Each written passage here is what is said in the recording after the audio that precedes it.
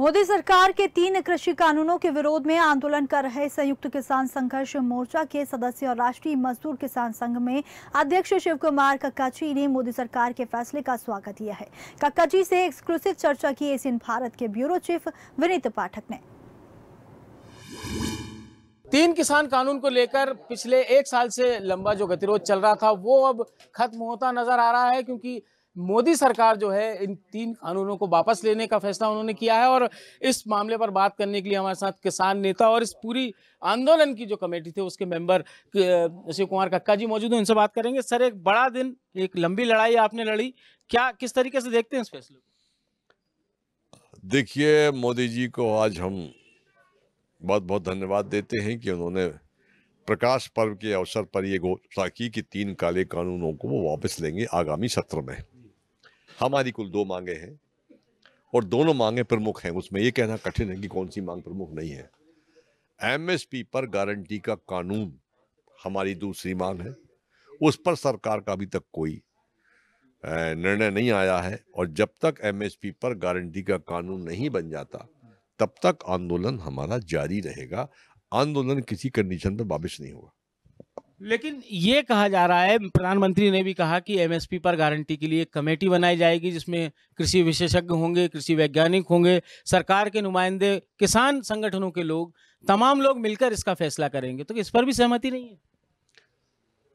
देखिए, अभी तक ग्यारह कमेटियाँ बनी हैं और पाँच आयोग बने हैं, सन छप्पन से अभी तक। जो भी कमेटी बनती है, आयोग बनता है, उसका पालन नहीं आज तक हो पाया है। इस कमेटी का पालन होगा ये संभव नहीं है। संशय है हमको। तो सरकार के पास अभी समय है उन ट्वेंटी नाइन से सत्र चालू हो रहा है वो कमेटी बना लें और कमेटी बना के तीन दिन में फैसला कर लें।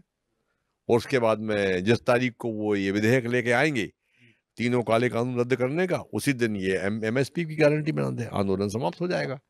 आगामी जो भी चर्चाएँ वो हो जाएँगी। तो परंतु उस एमएसपी पर गारंटी जब तक नहीं मिलेगी आंदोलन किसी इस कंडीशन में वापस नहीं होगा। ये जो पूरा निर्णय हुआ है एक साल का लंबा समय सरकार को लगा प्रधानमंत्री कह रहे हैं हम समझा नहीं पाए इन पूरे कानूनों को लेकर। लेकिन लगातार गतिरोध चल रहा था कि आपकी ग्यारह दौर की बैठक भी हुई। कहाँ गतिरोध था कहाँ कंफ्यूजन था कि समझ नहीं पाया समझा नहीं पाए? सरकार गतिरोध कहीं नहीं था, सरकार को ये लगता था कि ये थक जाएँगे, महीने दो महीने में भाग जाएँगे। तो वो तो हो नहीं पाया।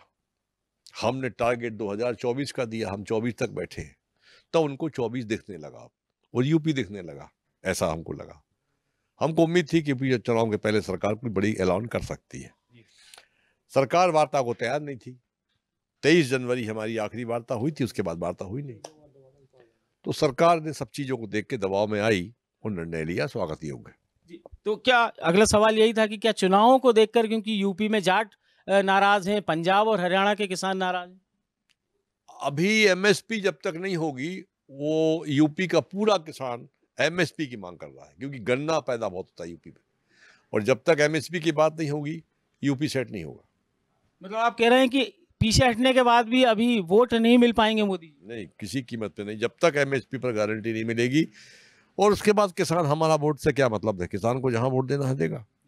लेकिन बंगाल चुनाव में तो सबने विरोध में वहाँ आंदोलन हाँ, वहाँ विरोध हुआ था। सरकार को सबक सिखाना ज़रूरी हो जाता है कई बार तो सिखाया गया वहाँ पर। आगे चुनाव में जो तीन चार पाँच राज्यों के चुनाव है। आगे चुनाव में भी सबक सिखाया जाएगा। साफ़ तौर पर शिव कुमार कक्का जी हमारे साथ हैं। इस फैसले का स्वागत ज़रूर करें, लेकिन उनका कहना है कि किसानों की जोली अभी भी खाली है, जब तक एमएसपी पर गारंटी का कानून नहीं बनता और इन तीन कानूनों को विधेयक को जो वापस नहीं लिया जाता, तब तक ये आंदोलन लगातार जारी रहेगा। कैमरा पर्सन अमित सियोते के साथ विनीत पाठक एशियन भारत, भोपाल।